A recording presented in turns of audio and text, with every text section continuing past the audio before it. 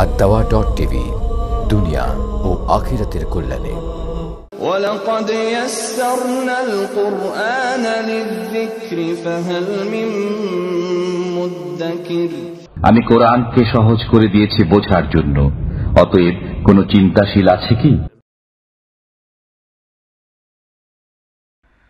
আসসালামু আলাইকুম ওরহমতুল্লাহ বরকাতুহ আলহামদুলিল্লাহ রবিল আলমিন ওসলাত ওসালাম আলা আশরফিল আম্বিয়া ইবুল মুরসালিন ওয়ালা আলহি ওসাহবিহি আজমাইন ওবাদ প্রিয় দর্শক, এই মুহূর্তে দেশে কিংবা দেশের বাইরে যে যেখান থেকে দাওয়া টেলিভিশনের নিয়মিত সরাসরি প্রশ্নোত্তরমূলক অনুষ্ঠান, জীবন জিজ্ঞাসার আটশো নব্বইতম পর্ব দেখছেন, আপনাদের সকলকে স্বাগত জানাচ্ছি আজকের পর্বে।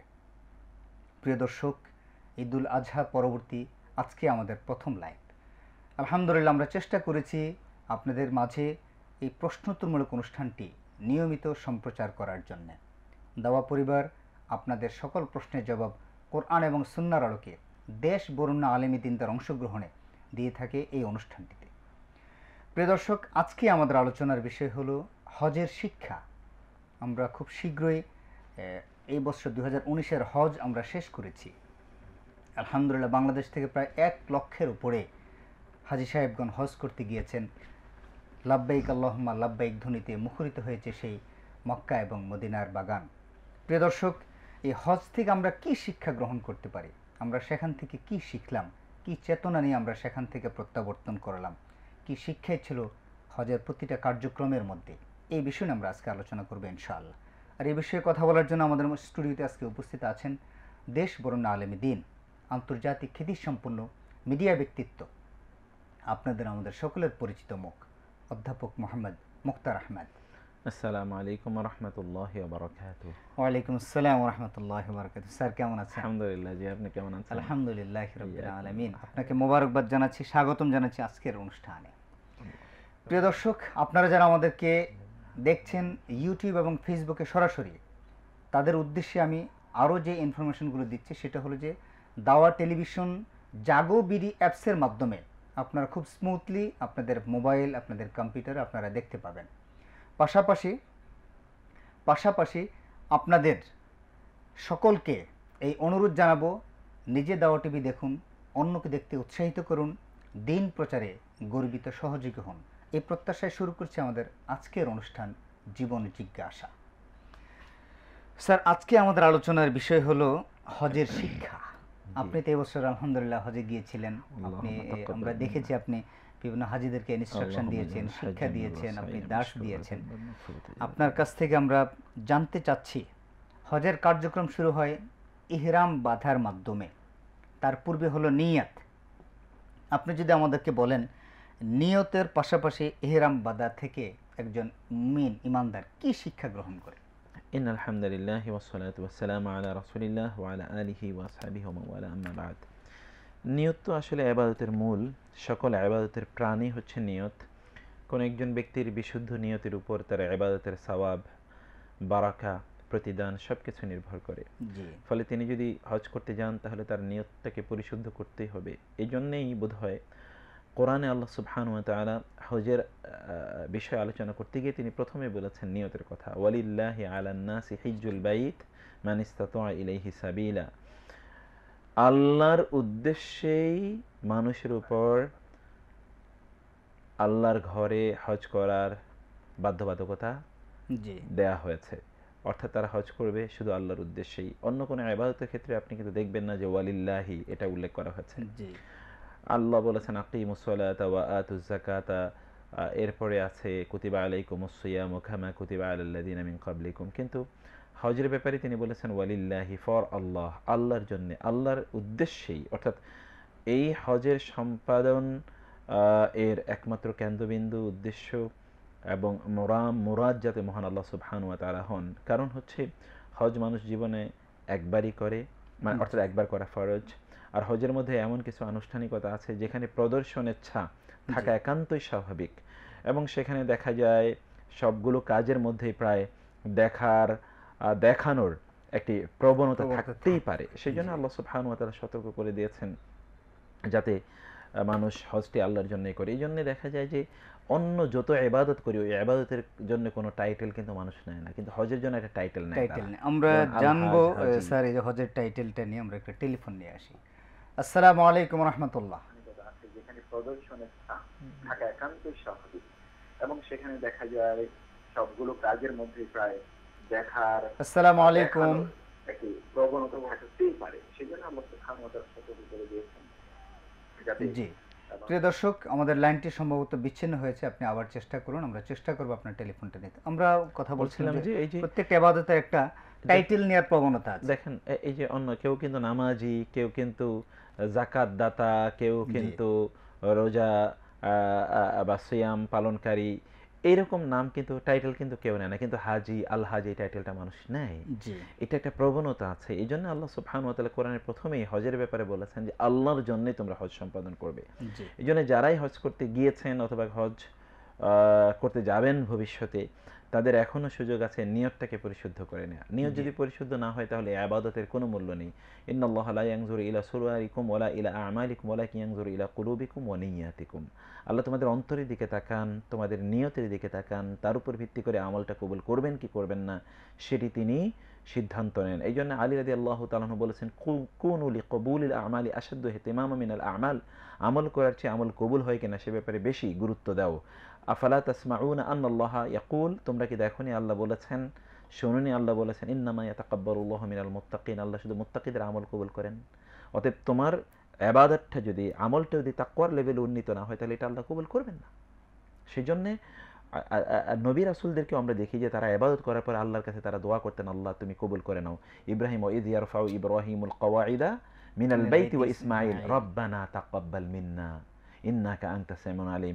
ইব্রাহিম এবং ইসমাইল এই কাবা ঘর নির্মাণ করার পরেও তারা ছেলে এবং বাবা মিলে আল্লাহর কাছে তোয়া করলেন, আল্লাহ, তুমি কবুল করে নাও। তুমি যদি কবুল না করো, তাহলে এটা পণ্ডশ্রম এই শ্রমের তো কোনো মূল্য নাই।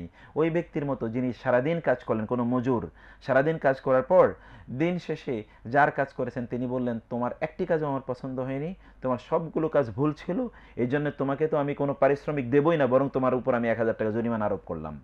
ওই ব্যক্তির কান্না করা ছাড়া কোনো উপায় আছে? সারাদিন কাজ করল, ঘাম ঝরালো, কিন্তু দিন শেষে তার কোনো প্রতিদান নাই, বরং তার উপর জরিমানা আরোপ করা হয়েছে। কোন একজন ব্যক্তি আবাদত করার পরে তার তো আবাদত কবুলই হয়নি, বরং বিপরীতে তার জন্য জাহান্নাম নির্ধারণ করা হলো, কারণ সে তো আবাদত মানুষকে দেখানোর জন্য করেছে অথবা ভুল করে আবাদত করেছে।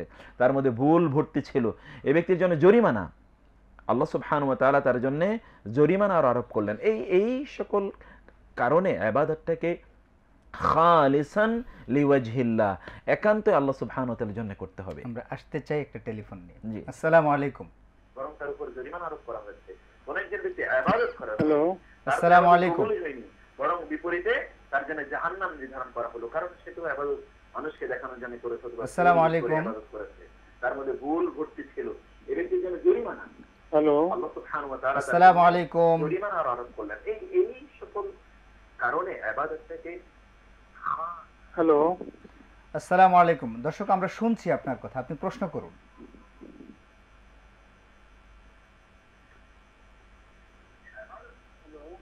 হ্যালো আসসালামু আলাইকুম। ওয়ালাইকুম আসসালাম রহমতুল্লাহ। আমরা শুনছি আপনাকে।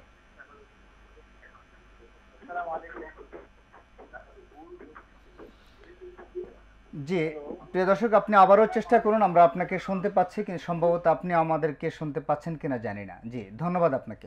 স্যার আমরা যেটা বলছিলাম জি।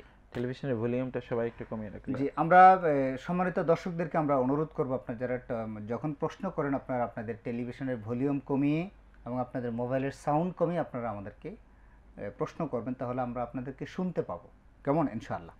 স্যার আমরা যেটা বলছিলাম বলছিলাম যে আল্লাহ সুবহানু ওয়া তাআলার জন্যই ইবাদতগুলো করতে হবে।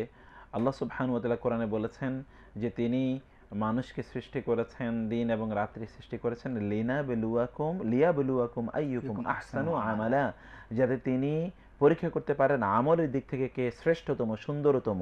এবং এর ব্যাখ্যা কাদি ফুদাইল বিন আয়াদ রাহিমাহুল্লাহ তিনি বলেছেন আয় আসওয়াবাহু ওয়া আখলাসাহু। অর্থাৎ এই আমলটি সে আল্লাহর জন্যই করেছে এবং রাসূলের সুন্নাহ মোতাবেক করেছে। তাইলেই শুধু সেটা আমল হিসেবে গ্রহণযোগ্য হবে অন্যথায় এটা আমল হিসেবে গ্রহণযোগ্য হবে না। এই জন্য যারা হজ করতে যায়, তাদের প্রত্যেকেরই উচিত রাসূলুল্লাহ সাল্লাল্লাহু আলাইহি যেভাবে হজ করেছেন, কারণ তিনি হজের, এই বিদায় হজে তিনি চারটা বা পাঁচটা ভাষণ দিয়েছেন। এই চারটা বা পাঁচটা ভাষণে বারবারই তিনি বলেছেন খুজু আন্নি মানা শিকাকুম তোমরা হজের কার্যকলাপগুলো আমার কাছ থেকে শিখে নাও। এবং এই জন্যে তিনি তার হজে সকল সাহাবিদেরকে তিনি একত্রিত এবং অন্তর্ভুক্ত করেছেন। লোকেরা বলে যে রাসুলামের সাহাবিদের সংখ্যা এক লক্ষ বা শো এক লক্ষ বা এক লক্ষ তিরিশ চল্লিশ হাজার ছিল। আপনি দেখেন যে এক লক্ষ তিরিশ হাজার লোক তার সাথে হজে অংশগ্রহণ করেছে। এরা সবাই তার সাহাবি। কেউ আমার মনে হয় বাদ ছিল না। সবাইকে কেন তিনি এই আমলে অংশগ্রহণ করিয়েছেন? কেন তিনি ডাক দিলেন, আমি হজে যেতে চাই, তোমরা সবাই আসো কারণ হচ্ছে তিনি হাতে কলমে তাদেরকে হজের কার্যকলাপগুলো শিখিয়ে দিতে চেয়েছিলেন। এবং বারবার তিনি বলেছেন খুজু আন্নি মানা শেখাকুম আমার কাছ থেকে হজের কার্যকলাপ শিখে নাও। লিতা খুজু আন্নি মানা শেখাকুম তোমরা হজের কার্যকলাপ আমার কাছ থেকে দেখে নাও। জানে, জেনে নাও। এটা তো ইব্রাহিম আলাইসালাম আল্লাহকে দোয়া করেছেন ও আরিনা মানা শিকানা ওতবা আলাইনা আমাকে হজের কার্যকলাপগুলো দেখিয়ে দিন আল্লাহ। ফলে এই হজের কার্যকলাপগুলো তিনি সব দেখিয়েছেন। আমরা হজ করতে যাই, অধিকাংশ লোকেরই পরিস্থিতি হয় যে তারা আসলে হজে গিয়ে কি করবে এটা তারা জানেই না। তারা মনে করে হজ এটা একটা পিকনিকের মতো ওইখানে যাবে, খাবে, ঘুমাবে এবং পাঁচ ওয়াক্ত নামাজ আদায় করবে। তো এই মনে করছে আসলে অধিকাংশ হাজিরা জানেই না আসলে যে তাদের কার্যক্রম। আসলে তিনি মনে করেন হজ করতে যাওয়া মানে হলো আসলে কাবা শরীফে নামাজ আদায় করে। এটা তিনি মনে করেন। আমরা আসতে চাই আরেকটা টেলিফোন নিয়ে। আসসালামু আলাইকুম। হ্যালো। আসসালামু আলাইকুম। জি আমি মোহাম্মদ ফজল রাব্বি চট্টগ্রাম থেকে বলতেছি। জি ফজলে রাব্বি ভাই প্রশ্ন করুন। জি আমার প্রশ্ন হচ্ছে ওই জুম্মার দিনের ফজিলত সম্পর্কে। ধরেন আমাদের মসজিদে জুম্মার নামাজের আজান দেয় বারোটা পনেরো মিনিটে জি। তো অনেক সময় আমরা তো মসজিদে যাই আজান দেওয়ার আগে হয়তো এগারোটা পঁয়তাল্লিশে বা এগারোটা পঞ্চাশে মসজিদে যাই। তো মসজিদে যায় দেখি তার আগে তিন চারজন অটোমেটিক মসজিদে মানে পৌঁছে যায় আর কি। জি। তো আপনাদের যে হাদিসটা আছে যে যে প্রথমে পৌঁছে আপনার উট কুরবানির যে সবটা আমরা আপনার প্রশ্ন পেয়েছি। কখন কাউন্ট হয় একটু আমরা আপনার প্রশ্নটা পেয়েছি আমরা। আর কোনো প্রশ্ন আছে কি আপনার?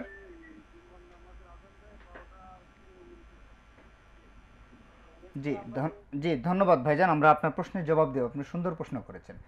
স্যার আমরা যেটা বলছিলাম যে হাজির সাহেবরা আসলে মনে করেন যে কাবা ঘরে গিয়ে সলাত আদায় করা এবং মানে দেখবেন এটাই কিন্তু কনসার্ন আমি এটা দেখেছি বাংলাদেশিদের মধ্যে এই প্রবণতাটা বেশি। অন্য দেশের লোকদেরকে আপনি তো নিজেও গিয়েছেন কয়েকবার দেখেছেন। অন্য দেশের লোকেরা তারা কিন্তু দূরে দূরেও থাকে। বাইতুল্লাহ থেকে অনেক দূরে থাকে। যেমন আপনি যদি তুরস্কের ইন্দোনেশিয়ার থাকে। আজিয়াতে থাকে ইন্দোনেশিয়ার হাদিজাকে দেখেন মালয়েশিয়ার হাদিজাকে থাকে। দেখেন বহু দূরে দূরে থাকে। কারণ তারা তো জানে তারা হজ করতে গিয়েছে। কিন্তু আমাদের হাজিদের প্রবণতা হলো কাবা শরীফের কত মিটারের মধ্যে আছে?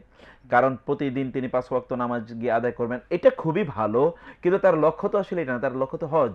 এই জন্য তিনি হজের ব্যাপারে কোনো পড়াশোনাও করেন নাই এই ব্যাপারে তার কোনো আলোচনা নাই এটা তার ব্যাপারে কোনো মাথা ব্যথাও নাই এটা নিয়ে তিনি কোনো দিন ভাবেনও না চিন্তাও করেন না। কারণ তিনি জানেনও না যে তিনি হজ করতে গিয়েছেন। অথচ হজের ব্যাপারে তার ভালো করে ট্রেনিং শিক্ষা নেওয়া দরকার ছিল কারণ তিনি হজ করতেই গিয়েছেন আসলে। এবং জীবনে উনি একবার হজ এবং একবারই করবেন অধিকাংশ একবারই করে। তো স্যার আমরা আপনার কাছ থেকে হজের নিয়তের বিষয়টিতে পরিশুদ্ধতার কথা বলেন আমরা হজের ইয়া জানতে চাই যে এহরাম এহরাম যখন একজন বাঁধে তার ভিতরে কি চেতনা কাজ করা উচিত সেখান থেকে কি শিক্ষা পাবে আমরা জানব বিরতির পর। জি জি। প্রিয় দর্শক আমরা যাচ্ছি ছোট্ট বিরতিতে। আমরা আজকে আলোচনা করছি হজের শিক্ষা নিয়ে। আমরা অনেক পর্বে হজের শিক্ষা নিয়ে কথা বলেছি। আজকে হজ উত্তর আমরা আবার যিনি সদ্য আমাদের যে মেহমান হজ করে আসলেন আমরা তার কাছ থেকে শুনতে চাই হজের শিক্ষা। তার আগে সম্ভবত একজন দর্শক আছেন আমাদের সাথে। জি আসসালামু আলাইকুম। আসসালামু আলাইকুম। আসসালামু আলাইকুম রহমতুল্লাহ। আসসালাম রহমতুল্লাহ বরকাত জি কে বলছেন কোত্থেকে? জি আমি চট্টগ্রাম থেকে হাসান বলছিলাম। জি হাসান চট্টগ্রাম জি। জি আমার একটা প্রশ্ন ছিল যে মোহতারামের কাছে মানে মা বাবার ব্যাপারে আর কি। জি প্রশ্ন। যে আমি বিয়ে করেছি কিছুদিন হচ্ছে মানে সমস্যাটা কমন কিন্তু তাও জানার ছিল। যে মানে আমি দেখতেছি আমার মা বাবারই দোষ আর কি। তারপরও মানে আমি বুঝাইতে গেলেই ওনারা দেখি যে খুব মানে কান্না করে ফেলে। এটাকে নিয়ে খুব মনে কষ্ট পেয়ে যায়। এখন আমি দেখতেছি অন্যের প্রতি অন্যায় হচ্ছে অন্যায়টা করতেছে আমার মা বাবাই। এই পর্যায়ে আসলে করণীয়টা কি? একটু যদি জানান আর কি। আপনি খুব মানে প্র্যাকটিক্যাল একটা প্রশ্ন করেছেন। আমরা আপনার প্রশ্নের জবাব দিতে চাই। আমি আশা করছি আমাদের মেহমান খুব সুন্দর জবাব দিবেন। আমাদের ফজল রাব্বি ভাই চিরগং থেকে উনি প্রশ্ন করেছেন টেলিফোন করে। জুমার দিনের ফজিলত জানতে চাইছেন। স্পেসিফিক উনি বলছেন যে সোয়া বারোটা ওনার মসজিদে আজান হয়। কিন্তু আজান হওয়ার পর পরে উনি যখন ঢুকেন তখন দেখেন যে দুই তিনজন বসে আছে। উনি বলছেন যে যে ওটের যে সওয়াব জি জি। তাহলে এটা এটা কখন থেকে কাউন্ট হবে জি? মৌলিকভাবে তো নামাজের সময় একটা নির্ধারিত বিষয় ওখানে। মানে ইন্না সলাতা কানাত আলাল মুমিনিনা কিতাবা কিতাবাম। মাওকুতা নির্ধারিত সময় আছে। অতএব সময়ের সাথে সাথেই আসলে কাউন্টিংটা শুরু হবে। জি। কেউ যদি আগেও যায় তাইলে তিনি ওই সময়ে প্রবেশ করেছেন বলে ধরা হবে। ফলে তিনি যদি ওই সময়ে যান অথবা তিনি যদি আগে যান তাহলে তিনি তার আগেও যদি অন্য কেউ গিয়ে থাকে যেমন সোয়া একটা তিনি পনে সোয়া বারোটায় তিনি পৌনে বারোটায় ঢুকেছেন তারাও আগে ঢুকলো বা বারোটায় তিনি ঢুকেছেন তারাও আগে অনেকে ঢুকলো। এই প্রত্যেকেই সোয়া সোয়া বারোটায় ঢোকার জন্যে যে সওয়াবটি নির্ধারিত অর্থাৎ অর্থাৎ উট কোরবানি করার সব এই সবটা তারা প্রত্যেকে পাবে। এক নম্বর বিষয় আর দু নম্বর বিষয় হচ্ছে যে আমাদের দর্শকদের একটা ধারণা থাকতে পারে যে এখানে একজন ব্যক্তির কথা বলা হয়েছে। আসলে একজন ব্যক্তি নয়, এ গ্রুপ অফ পিপল এটা একটা ক্যাটাগরি বলা হয়েছে, যেই সকল লোকেরা, মান শব্দের দুটো অর্থ আছে। মান মানে একজন, মান মানে হচ্ছে একটি দল। অতএব এই ক্যাটাগরি বা এই ক্যারেক্টারিস্টিক এই বৈশিষ্ট্য যাদের আছে, একই সময়ে যদি প্রথম প্রহরে এক কোটি লোক প্রবেশ করে, তাহলে এক কোটি লোকেই তারা একটি বদনা অর্থাৎ একটি ওট কোরবানি করা সব তারা পাবেন। অর্থাৎ আমাদের ভাইদের কাদেরই কারোরই আশঙ্কিত আতঙ্কিত হওয়ার কোনো কারণ নাই যে আরেকজন নিয়ে গেল আমি বুঝি পাবো না। আল্লাহর কাছে তো অভাব নেই। অর্থাৎ আল্লাহ সুবহানাহু ওয়া তাআলা এখানে ক্যাটাগরি উল্লেখ করেছেন। যেমন আমরা জানি ওই যে বলা হয়েছে সাবাতুন ইউজিল্লুহুমুল্লাহু তাহতা জিল্লিহি ইয়াওমা লা ইল্লা সাত ক্যাটাগরি অফ পিপল সাত ধরনের লোক যাদেরকে আর সে ছায়া দেওয়া হবে। এখানে সাতজন লোক না সাত ধরন। যেমন শুধু কি পৃথিবীতে একজন লোকই তিনি তার লজ্জাস্থানকে হেফাজত করেন পারস্পরিক বন্ধুত্ব রাখেন আল্লাহর ইবাদাতিল্লাহ, তাই না? এটা কি একজনই যুবক যে আল্লাহর ইবাদতে বড় হয়ে উঠেছে? ওই গ্রুপ যারা যারা। এখানে সেই যারা অর্থে ব্যবহৃত। অতএব হতাশ হওয়ার কোনো কারণ নেই ইনশাআল্লাহ। আল্লাহ সুবহানাহু ওয়া তাআলার দরবারে অফুরন্ত নেয়ামত আছে ইনশাআল্লাহ। জাজাকাল্লাহ আমাদেরকে আরেকজন ভাই প্রশ্ন করেছেন হাসান ভাই চট্টগ্রাম থেকে। খুব প্র্যাকটিক্যাল একটা প্রশ্ন। বলছেন যে আমার আমি সদ্য বিবাহ করেছি। আমি দেখছি যে আমার স্ত্রীর প্রতি আমরা অবিচার করছি। আমাদের পরিবার বাবা মা সহ মনে হচ্ছে যে আমরা অবিচার করছি। এখন বাবা মাকে বাবা মা অবিচার করছে মনে হচ্ছে। তাহলে আমার করণীয় কি? এখানে একটা মৌলিক সমস্যা হচ্ছে কি আমাদের এই ইন্ডিয়ান সাবকন্টিনেন্টে একটা টিপিক্যাল মাইন্ডসেট আছে। মাইন্ডসেটটা হলো যে কোনো একজন মেয়ে যদি কোনো সংসারে নতুন আসে তাহলে ওইখানে তারা তাকে সেভাবে গ্রহণ করতে পারে না। একটা সেখানে যারা আছেন আগ থেকে যারা আছেন তাদের মনে একটা আতঙ্ক আশঙ্কা থাকে এ বুঝি আমাদের সব কিছু দখল করে নিয়ে যায় কিনা? এতদিন আমার নেতৃত্ব কর্তৃত্ব ছিল তা কি কোনো অবস্থায় সরে যায় কিনা চলে যায় কিনা? এরকম একটা টিপিক্যাল একটা মাইন্ডসেট আছে। আর তাছাড়া আপনি দেখবেন আমাদের সিনেমা নাটকগুলোতে বা তথাকথিত সাংস্কৃতিক যে সকল কার্যকলাপ আছে এগুলোতে সব এগুলি দেখানো হয় তাই না? ওইখানে কোনো সুথিং। এনভায়রনমেন্ট ঝগড়াঝাটি মারামারি কে কার বিরুদ্ধে শয়তানি করছে ষড়যন্ত্র করছে এগুলোই সেখানে প্রতিপাদ্য বিষয়। ফলে এমনিতে মানুষের এরকম একটা বিষাক্ত মানসিকতা তৈরি হয়। আল্লাহ সুবহান ওয়া তাআলা আমাদেরকে এখান থেকে মুক্ত করুন। তো এই টিপিক্যাল মানসিকতাটা আছে। এটা আমাদেরকে সামনে রেখেই আমাদেরকে বিচার করতে হবে। দুই নম্বরের বিষয় হচ্ছে যে যারা আগে থেকে এই পরিবারে আছেন তাদের একটা মাথায় চিন্তা রাখা দরকার যে আরেক একটি মেয়ে তার যাদের সাথে তিনি বড় হয়ে উঠেছেন বাবা মা তারপরে তার ভাই বোন তার পরিচিত পরিবেশ এখান থেকে তিনি অন্য একটা নতুন জায়গায় এসেছেন। তাকে তো সাদরে আমন্ত্রণ জানাতে হবে। এটাই তো এহসান তাই না? সবচেয়ে বড় ত্যাগ স্বীকার করে সে কিন্তু ত্যাগ স্বীকার করে এসেছে। এবং এই নারী যিনি এরকম করছেন তিনিও কিন্তু এরকম ত্যাগ স্বীকার করে কোনো এক সময় এসেছেন। ফলে এরকম একটা মানসিকতা তাদের ডেভেলপ করা দরকার। এর জন্য শিক্ষা দরকার। বিলিভ মি এই শিক্ষা একেবারেই নাই। স্বামী স্ত্রীর পারস্পরিক সম্পর্ক এবং বউ শাশুড়ির পারস্পরিক সম্পর্ক সন্তান এবং পিতার পারস্পরিক সম্পর্ক বাবা মা এবং সন্তানদের পারস্পরিক সম্পর্ক এর ব্যাপারে কোনো আলোচনাই নেই। এবং এই বিষয়ে যে আলোচনা হতে পারে এটাও আমাদের লোক যারা বুঝে না তারা এটা জানেই না। এই জন্য যে এটা আলোচনার এটা বিষয় কোনো না। আলোচনার বিষয় না তারা কবরের বিষয়ে আলোচনা করবে আর আসমানের বিষয়ে আলোচনা করবে। এর বাইরে আর তাদের কোনো আলোচনার বিষয় নেই। ছোট মানুষ। তাই না এগুলো? সেজন্য আমরা এই ইস্যুটা মানুষের কাছে আমরা তুলে ধরতে পারিনি। আমাদের মনে হচ্ছে যেন এখানে দুটো বিষয়ে। একটা হলো যে তিনি একজন অতিথি হিসেবে এসেছেন। অতএব তাকে যে কোনোভাবেই হোক, তাকে বরণ করে নেওয়া গ্রহণ করা, তার প্রতি এহসান প্রদর্শন করা আল জাজাউল এহসান ইল্লাল এহসান এহসান প্রদর্শন করা উচিত। এবং যিনি এসেছেন, তারও কিন্তু এটা মাথায় রাখা দরকার যে, আমিও তো একটা নতুন একটা জায়গায় এসেছি। তাদের সাথেও তো মানিয়ে নেওয়ার জন্য আমাকেও সেভাবেই হচ্ছে নিজকে সমর্পণ করতে হবে দায়িত্ব গ্রহণ করতে হবে। তিনি যদি এরকম আমি অনেক জায়গায় দেখেছি যে বউরা তিনি মনে করেন আমি তো এই বাসার বউ আমি কাজ করব কেন? এবং এখন নতুন একটা মানসিকতা তৈরি হচ্ছে আমার বউ আমার শাশুড়ি বা শ্বশুরের খেদমত আমার করতে হবে কেন? তারা তো আর আমার বাবা মা আমার বাবা মা তো অন্য আপনি সুন্দর কথা মানে উত্থাপন করেছেন আমরা আসতে চাই আর টেলিফোন নিয়ে। আসসালামু আলাইকুম।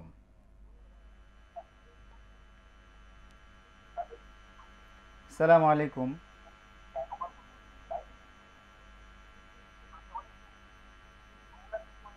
আসসালামু আলাইকুম। ওয়ালাইকুম আসসালাম রহমতুল্লাহ।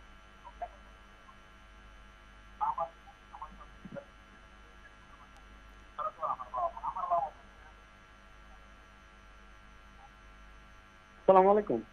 ওয়ালাইকুম আসসালাম। আমরা আপনাকে শুনছি। আপনি যদি আমাদেরকে শুনতে পাচ্ছেন? জি শুনছি। ওয়ালাইকুম আসসালাম। আমি হাবিব বলছিলাম শুনতে পাচ্ছেন? জি জি জি শুনতে পাচ্ছি। স্যার আমার দুইটা প্রশ্ন। জি নাম্বার ওয়ান এক নম্বর হচ্ছে ডিশের ব্যবসা হালাল কিনা? ডিশের ব্যবসা হালাল কিনা? জি দুই নম্বর প্রশ্ন। দুই নম্বর হচ্ছে ফরেক্স এর ট্রেডিংটা হালাল কিনা? Foreign trading. জি ধন্যবাদ ভাইজান। আপনার দুটা গুরুত্বপূর্ণ প্রশ্ন আমরা পেয়েছি আমরা চেষ্টা করব আপনার প্রশ্নের জবাব দেওয়ার জন্য ইনশাআল্লাহ।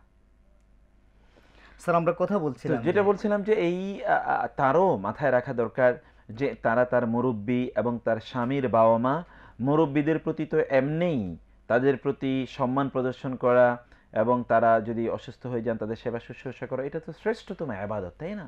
এবং সর্বোপরি তার স্বামীর পিতামাতা স্বামীর সন্তুষ্টির উপর তার কিন্তু অনেক কিছু নির্ভর করে যে তার স্বামী তার ব্যাপারে সন্তুষ্ট তার স্বামী তিনি আনুগত্য করছেন স্বামী তাকে বলছেন যে আপনি বা তুমি আমার বাবা মার খেদমত করো তিনি সেটা মানছেন না তিনি বলছেন যে না আমি এটা করব না। তার তো স্বামীর অবাধ্য হলো স্বামীর অবাধ্য যিনি হন তার জন্য তো জান্নাতের সুগন্ধিও তিনি পাবেন কিনা সেটা তো আমরা জানি তাই না? সুগ্রাণ তিনি পাবেন না। সেক্ষেত্রে স্বামীর অবাধ্য তিনি কীভাবে হচ্ছেন? সেই জন্যে আমাদের এই উভয় পক্ষেরই এটা একটা বিষয় আছে। আর তিন নম্বর বিষয় হচ্ছে যে যিনি ভাই যিনি প্রশ্ন করেছেন আপনাকে মনে রাখতে হবে যে আপনার পিতামাতার সন্তুষ্টির উপর আপনার জান্নাত, এবং জাহান্নাম। জাহান্নাম নির্ভর করে অতএব কোনো পরিস্থিতিতেই যাতে আপনার পিতামাতা অসন্তুষ্ট না হন এমনও ইতিহাসে এরকম বহু সাক্ষ্য আছে যে পিতামাতার নির্দেশে তারা তাদের স্ত্রীদেরকে তারা ত্যাগ করতেও বাধ্য হয়েছেন। সুন্নাতে তাই না? সুন্নাতে নববী। তাই না? এটা সুন্নায় নববী আছে রাসুসলাম বলেছেন এরকম ঘটনা আছে ওমর বলেছেন এমন ঘটনা আছে ইব্রাহিম আলাইসালাম বলেছেন তার সন্তান ইসমাইলকে কেন্দ্র করে সেরকম ঘটনা আছে। তত এক্সট্রিম পর্যায়ে আমরা না গেলেও আমরা বলছি যে আপনি আপনার পিতা মাতাকে কোনো অবস্থায় অসন্তুষ্ট করবেন না। তাদের যদি কোনো ত্রুটি আপনি দেখেন তাদেরকে আপনি বুঝাবেন তাদের জন্য আল্লাহর কাছে দোয়া করবেন আপনার স্ত্রীকে আপনি বুঝাবেন যে মানুষ যখন একটু বয়স হয়ে যায় তখন তাদের কিন্তু আগের মতো করে সেই রকম ধৈর্য সহ্য থাকে না এটা আপনিও বুঝবেন যখন আপনি বৃদ্ধ হবেন। সেই জন্যে আপনি আপনার বাবা মার প্রতি এমন আচরণ করবেন যে আচরণে তারা প্রতি মুহূর্তে সন্তুষ্ট থাকেন। এমন কোনো পরিস্থিতি যাতে না হয় আপনার আচরণের কারণে আপনার পিতামাতার চোখ থেকে পানি পড়েছে। যদি চোখ থেকে পানি পড়ে আপনি তখন জানেন না যে কোথায় আপনার অবস্থান গিয়ে আপনি তৈরি করছেন। কোনো পরিস্থিতি নেই। এই পিতামাতা কিন্তু আপনাকে লালন করেছেন। হঠাৎ একজন অতিথি এসেছে তার জন্য আপনার এত প্রেম এবং ভালোবাসা। যারা আপনাকে এর চেয়েও বেশি প্রেম ভালোবাসা দিয়ে বড় করেছে তাদের প্রতি আপনার আনুগত্যটা তাই না? তাদের প্রতি আপনার আনুগত্যটা কেমন থাকা দরকার?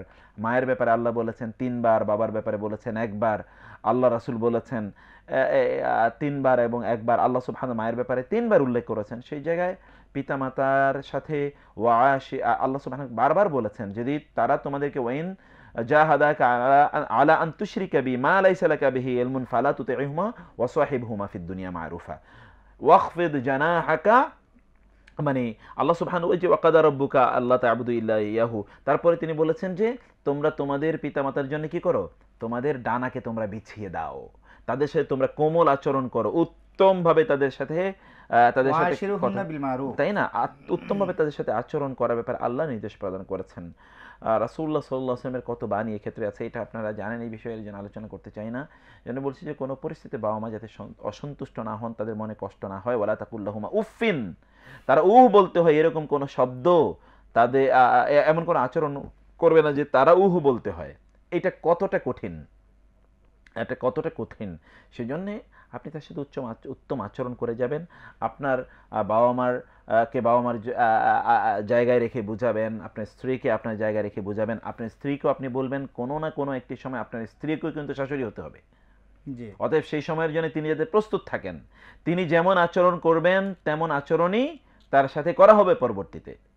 You should treat others as you like to be treated by others আপনি অন্যের সাথে তেমন আচরণ করবেন আপনার সাথে যেমন আচরণ করা আপনি পছন্দ করেন। জি। অতএব আপনি সেভাবে তাকে বোঝাবেন। আপনি চমৎকার করে আমাদেরকে প্রশ্ন বলো আমরা ইউটিউবে প্রচুর প্রশ্ন আমাদের দর্শক করেছেন। ভারত থেকে একজন ভাই প্রশ্ন করেছেন যে দুনিয়া আখেরাতের বাদশাহ রসুলামকে বলা যাবে কিনা? এই প্রশ্নটা আমরা বিরতির পর আপনার কাছ থেকে জানতে চাইব। প্রিয় দর্শক আমরা যাচ্ছি ছোট্ট বিরতিতে। আশা করছি কিছুক্ষণের মধ্যে ফিরবো। আমাদের সাথেই থাকবেন ইনশাআল্লাহ। ولقد يسرنا القرآن للذكر فهل من مدكر অধিকার সম্পর্কে ইসলাম কি বলেছে আল্লাহ সুবাহান তাআলা বলছেন পিতামাতার সাথে তোমরা সদাচরণ করো যদি তোমাদের পিতামাতা পীড়াপিড়ি করে তোমাদেরকে শের করতে এটা কখনোই মানা যাবে না রসুল করিম সাল্লাহ আলি সাল্লাম বললেন, তুমি তোমার পিতামাতার সাথে ভালো আচরণ করো। হজ করলে যে পরিমাণ সোয়াব পাওয়া যায়, তুমি পিতামাতার খেদমত করে সে পরিমাণ সোয়াব পেতে পারবে। পিতামাতার নাফরমানি করলে সেই ব্যক্তিকে যতক্ষণ পর্যন্ত পিতামাতার না মাফ করবেন, ততক্ষণ পর্যন্ত আল্লাহ সব হ্যাঁ না হুয়া তালা তাদেরকে মাফ করবেন না। অধিকার প্রসঙ্গে ইসলাম, আল্লাহর হক ও বান্দার হকের পাশাপাশি ইসলাম ব্যক্তি ও সমষ্টির কি কি অধিকার নিশ্চিত করে সমাজকে বৈষম্য মুক্ত ও সুন্দর করে গড়ে তুলতে চায়, সেসব বিষয় জানতে আমাদের আয়োজন অধিকার প্রসঙ্গে ইসলাম। আবু আবদুল্লার প্রযোজনায় নিয়মিত অনুষ্ঠানটি দেখতে চোখ রাখুন আর দাওয়া টিভির পর্দায়। কিন্তু যে বাবা এত কষ্ট করে আমাদের জন্য উপার্জন করে আনে, তাদের সঙ্গে এমন কোনো ব্যবহার কখনো করো না। যাতে তারা কষ্ট পায় আমরা আমাদের প্রতিবেশী সমাজ ও দেশের প্রতি মুমিন হিসেবে কতটুকু দায়িত্ব পালন করছি যা করছি তা সঠিক করছি কিনা না করলে একজন মুসলমান হিসেবে কি করণীয় শামশের আলী হেলালের জীবন ঘনিষ্ঠ আলোচনা অনুষ্ঠান শুদ্ধতার পথে দেখতে চোখ রাখুন প্রতি সোম ও মঙ্গলবার আর দাওয়া ডট টিভিতে ولقد يسرنا القرآن للذكر فهل من مدكر আসসালামু আলাইকুম রহমতুল্লাহ। প্রিয় দর্শক, বিরতির পর আপনাদেরকে আবারও স্বাগত জানাচ্ছি জীবন জিজ্ঞাসার আটশো নব্বইতম পর্ব থেকে। আমরা আজকে আলোচনা করছিলাম হজের শিক্ষা নিয়ে, পাশাপাশি আপনাদের সকল প্রশ্নের জবাব কোরআন এবং সুন্নার আলোকে দিচ্ছেন আমাদের সকলে পরিচিত মুখ, বিশিষ্ট মিডিয়া ব্যক্তিত্ব, অধ্যাপক মোহাম্মদ মুখতার আহমেদ। স্যার, এবারে আপনার কাছ থেকে আমরা যে বিষয়টা জানতে চাইব, আমরা এহরাম বাধার মধ্য থেকে একজন ইমানদার কি শিক্ষা গ্রহণ করে? দুটো বিষয় খুবই গুরুত্বপূর্ণ আমার কাছে যেটা মনে হয়। প্রথমত হচ্ছে এহরামের পোশাকটার দিকে যদি আমরা তাকাই, একটা সাদা সাদা, শ্বেত, শুভ্র পোশাক আমরা পরিধান করছি। এটা থেকে আমরা এইরকম একটা ডিক্লারেশন দিতে চাই যে আল্লাহ, যেরকম সাদা সাদা শুভ্র পোশাক পরেছি, আমাদের চরিত্রটা ক্যারেক্টারটা যাতে এরকম সাদা এবং শুভ্র হয়। এবং দেখুন যে আমরা সেই অবস্থায় এমন কিছু কাজ আমাদের জন্য করা নিষিদ্ধ যেই কাজগুলো আমাদেরকে একজন একজন একজন, যেগুলো থেকে বিরত থাকা একজন শুভ্র মানুষে পরিণত করে। To be peaceful with the person himself and to be peaceful with others নিজের সাথেও সে খুব প্রশান্ত জীব আচরণ করতে হয় এবং তার বাইরে অন্য সকল কিছুর সাথে প্রশান্ত আচরণ করতে হয়। সে অশ্লীল কথা বলতে পারে না, অশ্লীল আচরণ করতে পারে না গুণা কাজ করতে পারে না এবং কারোর সাথে ঝগড়া বিবাদ করতে পারে না প্রাণীগুলোকে হত্যা করতে পারে না আপনি যে শিকারী হত্যা করতে পারে না, এরকম সে তার চুল ছিঁড়ে ফেলতে পারে না, নখ সে কেটে ফেলতে পারে না। এই যে অনেকগুলো কাজ একজন ব্যক্তিকে করতে হয়, এগুলো আসলে উদ্দেশ্য কি?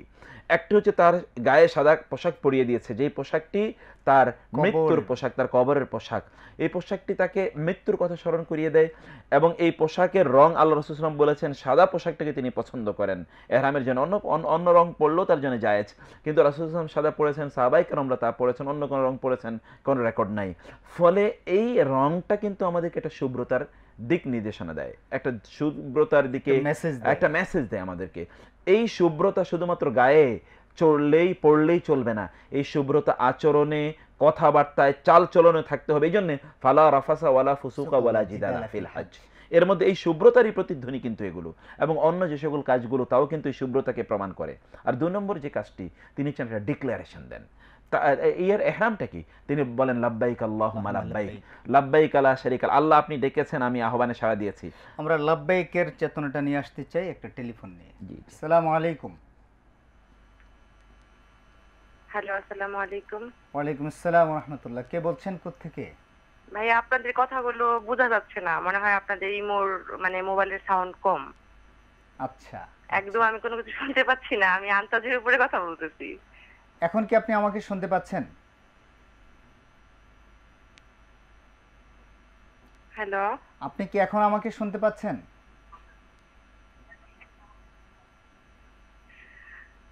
হ্যালো। আমরা আপনাকে শুনছি। একটু কম কম শুনতে পাচ্ছি। আচ্ছা যে আপনার প্রশ্নটা করুন। আপনার প্রশ্নটা করুন। যে দর্শক সম্ভবত লাইনটি বিচ্ছিন্ন হয়েছে আপনি আবার চেষ্টা করুন আমরা আমরা পরবর্তী আলোচনায় যাচ্ছি। স্যার আমরা যেটা বলছিলাম যে তালবিয়ার বিষয়টা তালবিয়ার বিষয়টাকে তালবিয়া থেকে কি শিখে তালবিয়াতে দেখুন আমরা কি বলছি? আমরা আল্লাহ আমাদেরকে ডেকেছেন আমরা তার ডাকে সাড়া দিয়ে উপস্থিত হয়েছি। আমরা তার ডাকে সাড়া দিয়ে উপস্থিত হয়েছি কোথায়? মক্কায়। সেখানে হজের বিভিন্ন মাসায়ের আছে। সেই মাসায়েরগুলোতে আমরা উপস্থিত হয়েছি আল্লাহ সুবহানাহু ওয়া তাআলার ডাকে সাড়া দিয়ে। এই ডাকে সাড়া দেওয়াটা আমাদের মাঝে এই অনুভূতিটি তৈরি করে যে তিনি যখনই আমাদেরকে ডাকেন, তখনই আমরা তার ডাকে সাড়া দেব। একজন ব্যক্তি শুধুমাত্র হজের সময় আল্লাহ ডাকে সাড়া দিয়ে তিনি উপস্থিত হলেন এবং তিনি বলেন, লাব্বাইক আল্লাহুম্মা লাব্বাইক। কিন্তু এরপর আর তার মাথায় এটা একেবারেই নাই। এইটা মূলত তাকে তাকে আসলে প্রকৃত হাজি অথবা প্রকৃত হজ সম্পাদনকারী বানায় না। এই জন্য রাসুসলাম বলেছেন এই হজের প্রত্যেকটা কাজ, এটার উদ্দেশ্য হচ্ছে একামাতি জিক্রিল্লা আল্লাহর জিকিরটা মানুষের অন্তরে প্রথিত, গ্রথিত করে দেওয়ার জন্যে। মানুষ যদি প্রত্যেকটি মুহূর্তে আল্লাহর জিকিরের মাধ্যমে সে তার সময়টা কাটায়। এইভাবে তাকে প্রস্তুত করার জন্য আল্লাহ সুবহান এই এই তালবিয়াটিয়া দিয়েছেন। এবং এটা শেয়ারুল হাজ, একজন হাজির। এটি হচ্ছে তার তার তার তার যেটা আমরা স্লোগান বলছি। এটা তার স্লোগান। রাসুসলাম বলেছেন যে এই স্লোগান যদি একজন হাজি দেয়, তাইলে এই স্লোগানটা তার চারপাশে কোনো পাথর, কোনো গাছগাছালি এবং কোনো বাড়িঘর যদি শোনে, তাহলে তার সাথে এগুলো তালবিয়া করে এবং কেয়ামতের দিন এই ব্যক্তির পক্ষে এগুলো সাক্ষী দিবে যে হ্যাঁ এই ব্যক্তি তালবিয়া পড়েছিল। এমনকি কোনো একজন ব্যক্তি হজ সম্পাদন করতে গিয়ে সে যদি মারা যায়, তাইলে রাসুসলাম বলেছেন তাকে তোমরা এই অবস্থায় দাফন কাফন করো, কারণ সে কেয়ামতের দিন উত্থিত হবে মুলাব্বিয়ান, তালবিয়া পড়তে পড়তে। লাব্বাইক আল্লাহুম্মা লাব্বাইক। এটা পড়তে পড়তে কবর থেকে উত্থিত হচ্ছে। কি অসাধারণ একটা দৃশ্য। এই ব্যক্তির কি আর কোনো হিসাব নিকাশের প্রয়োজন আছে? চিন্তা করে দেখেন। এই একটা মানুষ অতএব যিনি তালবিয়া পড়ছেন তার জীবনের প্রত্যেকটি সময় তিনি স্টান বাই থাকবেন। লাব্বাইক মানে হচ্ছে আল্লাহ আমি দাঁড়িয়ে আছি তোমার আদেশ পালন করার জন্য। তিনি ওইখানে বললেন লাভবাহিক কিন্তু দেশে আসার পরে তিনি তার সকল অপকর্মের মধ্যে তিনি তার নিজকে ডুবিয়ে দিলেন এবং তিনি সেখানে ঝাঁপিয়ে পড়লেন। অথবা হজের ওই কয়েকটা দিনই যে কয়েকদিন তালবিয়া পড়েছেন, ওই কয়েকটা দিনই তিনি ভালো থেকেছেন, সাবধান থেকেছেন। অথবা তিনি তালবিয়া পড়েছেন একদিকে কিন্তু অন্যদিকে সকল খারাপ কাজ করেছেন। অথবা পাপের কাজগুলো তিনি ছাড়েননি। তাইলে এই জাতীয় তালবিয়া আসলে কিছুই নয়। এগুলো এক ধরনের মুখে উচ্চারণ এবং আনুষ্ঠানিকতা, এটা তার হৃদয়কে স্পর্শ করেনি। তালবিয়া তাকে স্পর্শ করতে হবে। আমরা আপনাকে বিরতির পূর্বে প্রশ্ন করেছিলাম রসুল্লাহ সাল্লামকে দুজাহানের বাদশাহ বলা যাবে। না না, রাসূল ইসলামকে দুজাহানের বাদশা বলা যাবে না। বাদশা শুধুমাত্র মহান আল্লাহ সুবহান ওয়া তাআলা। আনাল মালিক আল্লাহ সুবহান ওয়া তাআলা বলবেন যে আমি হচ্ছি বাদশা আমি রাজা। কুলিল্লাহুম্মা মালিকাল মুলক, মালিকি ইয়াউমিদ্দিন, মালিকিন নাস। এটা মালিক হচ্ছেন শুধুমাত্র মহান আল্লাহ সুবহান ওয়া তাআলা। আর কাউকে মালিক বলার কোনো সুযোগ নেই, কোনো সুযোগ নেই। মালিক বাদশা শুধুমাত্র মহান আল্লাহ সুবহান ওয়া তাআলা। অতএব আল্লাহ রাসূল সাল্লামকে বাদশা দুজাহানের বাদশা বলা, এটা কোন অবস্থায় কোন অবস্থায় বৈধ নয়। এটা আমাদের গান বাদ্য ইত্যাদি এগুলোকে তৈরি করেছে। এইটা কোন অবস্থায় বাদশা বলার কোনো সুযোগ নেই। আমরা পরবর্তী প্রশ্নে যেতে চাই। আমাদের একজন ভাই হাবিব ভাই প্রশ্ন করেছেন ডিশের ব্যবসা হালাল কিনা? দেখুন ডিশের ব্যবসা তো সকল ব্যবসাই আপনার জন্য হালাল যদি তার মধ্যে কোনো হারাম এলিমেন্ট না থাকে। এখন আপনি যে ব্যবসাটি করবেন সেই ব্যবসাটির মধ্যে হারামের কোনো উপাদান আছে কিনা? হারাম বা অশ্লীলতা তার মাধ্যমে ছড়িয়ে দেওয়া হচ্ছে কিনা? হারাম বা অশ্লীলতা আপনি প্রমোট করছেন কিনা, হারাম বা অশ্লীলতার সাথে আপনি নিজে জড়িয়ে যাচ্ছেন কিনা, অন্য কাউকে জড়ানোর সুযোগ করে দিচ্ছেন কিনা ইত্যকার বহু বিষয় সেখানে জড়িত আছে। যদি সেগুলো থেকে আপনি মুক্ত থাকতে পারেন তাহলে করবেন। কারণ আল্লাহ সুবহানাহু বলেছেন। ইন্নাল্লাযীনা ইউহিব্বুনা আন তাশিআল ফাহিশাতু ফিল্লাযীনা আমানু লাহুম আযাবুন আলীমুন ফিদ দুনিয়া ওয়াল আখিরাহ। যারা চায় মুসলিমদের মাঝে অশ্লীলতা ছড়িয়ে পড়ুক মুসলিম সমাজে অশ্লীলতা ছড়িয়ে পড়ুক তার জন্য দুনিয়া এবং আখেরাতে তাদের জন্য শাস্তি রয়েছে। আমরা আজকে এক জায়গায় বলেছিলাম যে এই পৃথিবীতে এখন সবচেয়ে বড় ক্রিমিনালের নাম হচ্ছে এন্টারটেইনমেন্ট ইন্ডাস্ট্রি সবচেয়ে দুই নম্বর ক্রিমিনালের নাম হচ্ছে যেটা হচ্ছে নিউজ মিডিয়া ইন্ডাস্ট্রি অর্থাৎ এক নম্বর পৃথিবীর শত্রু হচ্ছে এন্টারটেইনমেন্ট অর্থাৎ তথাকথিত বিনোদন। বিনোদন। এবং বিনোদনের মাধ্যমগুলো। আমেরিকান সোসাইটিতে সেনেটররা তাদের পলিটিশিয়ানরা এখন বলছে যে শয়তান এন্টারটেনমেন্টের মাধ্যমে আমাদের দেশের উপরে তার কু প্রভাব এবং কুদৃষ্টি তারা ফেলেছে। মিডিয়ার কারণে অথবা এই তথাকথিত এই এই যে সংস্কৃতির মাধ্যমে এগুলো সব বেহায়াপনা উলল্ল মানে উলঙ্গপনা সব কিছু ছড়িয়ে পড়েছে। অতএব এইটা আর আরেকটা হচ্ছে আপনার ওই যে তথাকথিত ফেক নিউজ এবং কোন একটা সাধারণ নিউজকে ড্রামাটাইজ করে বিশাল করে উপস্থাপন করা এর মাধ্যমে মানুষ আরও বিভিন্ন অপকর্মে তারা লিপ্ত হয়ে যাচ্ছে। আমার মনে হয় এর মাধ্যমে আরও কিছু কথা বলবেন এই বিষয়ে আমরা। একটা টেলিফোন নিয়ে আসি। জি জি আসসালামু আলাইকুম। ওয়ালাইকুম আসসালাম ভাইয়া কেমন আছেন? আলহামদুলিল্লাহ জি। কে বলছেন কোত্থেকে? কবিতা বলছি। জি আপনি কি এখন শুনতে পাচ্ছেন? জি এখন হেডফোন দিয়ে কথা শুনছি তো এখন শুনতে পাচ্ছি। জি। কিন্তু খালি মোবাইলে শোনা যায় না জি প্রশ্ন করুন জি। ভাইয়া আমার প্রথম প্রশ্ন হচ্ছে যে বিয়ে করতে গেলে যে উকিল বাবা মা লাগে জি। তো এটা কতটুকু সুন্নত সম্মত জি উকিল বাবা মা। আর? দ্বিতীয় প্রশ্নটা হচ্ছে যে আমি শুনেছি যে নিজের বাবাকে ছাড়া অন্য কাউকে বাবা বলা যাবে না। তো আমরা বিয়ে করে তো আমাদের শুধুকে বাবা বলি কিংবা হাজবেন্ড আমার বাবাকে বাবা বলে ওই ক্ষেত্রে সেটা কি হবে? জি। আর তিন নম্বর বিষয়টা হচ্ছে আপনাদের আলোচনায় আমি শুনেছি এতক্ষণ। তো আলোচনা বলা হয়েছে যে যে যেমন কর্ম করবে সে তেমনই ফল পাবে। কিন্তু কিছু কিছু ক্ষেত্রে আমি দেখেছি যে মেয়েরা খুব ভালোই আচরণ করতেছে কিন্তু তার বিনিময়ে সে মানে খারাপই পাচ্ছে ম্যাক্সিমাম ক্ষেত্রে তো। এই ক্ষেত্রে কি আল্লাহ তরফ থেকে শুধু শাস্তি আসতেছে না পরীক্ষা আসতেছে। জি ধন্যবাদ আপনাকে। আমরা আপনার তিনটা প্রশ্ন পেয়েছি। আমরা চেষ্টা করব আমাদের এই স্বল্প সময়ের মধ্যে আপনার প্রশ্ন উত্তরগুলো দেওয়ার জন্য। স্যার আমরা কথা বলছিলাম যে যে ডিশ ব্যবসার বিষয়ে। তো সেই ডিশে এই জন্য আপনাকে প্রিয় ভাই আপনাকে দেখতে হবে যে এর মাধ্যমে অশ্লীলতা ছড়িয়ে দেওয়ার ক্ষেত্রে আপনি কোনো অবদান রাখছেন কিনা। আপনি হালাল ব্যবসা খুঁজেন যদি এর মধ্যে তাই যদি কোনো সম্ভাবনা থাকে। এক নম্বর বিষয় আপনি বলবেন যে যদি আমরা সেটা না করি তাহলে ইসলামিক আলোচনাগুলো বা ইত্যাদি আমরা ছড়িয়ে দেবো কীভাবে? সেই দাওয়া টেলিভিশন বা ইত্যাদি আপনি করবেন কীভাবে? সেখানে যদি ভালোর সম্ভাবনা যদি বেশি থাকে তাহলে আপনি করবেন। আর যদি ভালোর সম্ভাবনা কম থাকে তাহলে করবেন না। আপনি তো আপনাকে আগে বাঁচাবেন। কু আং ফুসাকুম ও আহালিকুম নারা। আগে নিজকে বাঁচাতে হবে এরপরে অন্যকে। নিজের ঘর পড়ে অন্যকে রক্ষা করার তো কোনো অর্থ নাই আসলে। তাই না? নিজকে জাহান নামে নিয়ে অন্যকে জান্নাতে নেওয়ার তো কোনো অর্থ নাই। সুযোগ নাই। উনি ভাই একটা প্রশ্ন করছেন ফরেন ট্রেডিং হালাল কিনা? ফরেন ট্রেডিং মানে সে ফরেক্স ট্রেডিং আপনি বলতে চাচ্ছেন আমার মনে হচ্ছে। ফরেক্স ট্রেডিং মানে হচ্ছে ফরেন যে কারেন্সি এই কারেন্সির ব্যবসা করা যায় যাচ্ছে কিনা ব্যবসা করা যায় যাচ্ছে ইনশাল্লাহ যদি তার মধ্যে কোনো ধরনের। কোনো ধরনের ইন্টারেস্ট অথবা কোনো ধরনের দুই নম্বরই যেমন ধরেন ইচ্ছে করে আপনি ফরেন যে কারেন্সি আছে এগুলোর এগুলো এগুলোর আপনি দাম বাড়িয়ে দিলেন অথবা কোনো একজন ব্যক্তিকেই আপনি ঠকালেন। আমাদের অনেক লোক আছে যেমন ধরেন আপনি হয়তো ডলার নিয়ে গেলেন। এখন আপনি ডলারের সত্যিকার দাম জানেন না। উনি দেখল যে এই লোক তো একটু দেখি সাধারণ টাইপের তো বুদ্ধি শুদ্ধি কম রাখে অতএব আপনার কাছে কম দামে ওগুলো কিনে নিল। এই যে ধোকাবাজির ব্যবসা। মান গাছা ফালাইসা মিন না কেউ ধোকা দিলে সে আমার অন্তর্ভুক্ত নয়। এরকম অনেক কন্ডিশন আছে। It is permissible but on some conditions এই কন্ডিশনগুলো ফুলফিল করতে হবে। চমৎকার করে বলেন আমরা ইউটিউবের দিকে নজর দিতে চাই। আমাদেরকে একজন ভাই প্রশ্ন করেছে, কেউ সুদি ব্যাংক থেকে ঋণ নিয়ে বাড়ি করেছে এখন থেকে এখন থেকে পরিত্রাণের উপায় কি? পরিত্রাণের উপায় হচ্ছে যে তিনি আল্লাহ সুবহানুর কাছে তবা করবেন এবং সুদ থেকে তিনি অ্যাজ সোন অ্যাজ পসিবল তিনি মুক্ত হবেন। দ্রুত সম্ভব। যত দ্রুত সম্ভব। কোনো একদিনই বলবেন আমি তাইলে কি বাড়ি বিক্রি ইয়াস আপনাকে জাহান্নাম থেকে মুক্তি পেতে হলে বাড়ি বিক্রিই করতে হবে প্রয়োজনে। আপনার কাছে যদি জাহান্নাম এর চেয়ে বেশি দামি হয় আপনার চেয়ে মানে জাহান্নামের। চেয়ে বাড়ি যদি অনেক বেশি প্রয়োজনীয় হয় তাহলে আপনি থাকেন যে ঠিক আছে আমি জাহান্নামেও গেলাম এই বাড়ি আমি তারপরে বিক্রি করব। তাহলে তো আর কিছু করার নাই। আর আপনি যদি মনে করেন যে জাহান্নাম থেকে মুক্তির জন্য আমার প্রয়োজনে বাড়ি বিক্রি করব তাইলে ইউ আর গেইনার রাসুসলাম আয়সারদি আল্লাহ তাকে বলেছেন, ইয়া আয়েশ, এবং তিনি তার তার কন্যা ফাতেমাকেও বলেছেন, এবং তিনি বনু হাসিমকে বলেছেন, আমি তোমাদের জন্য কোনো কাজে লাগবো না কেয়ামতের দিন।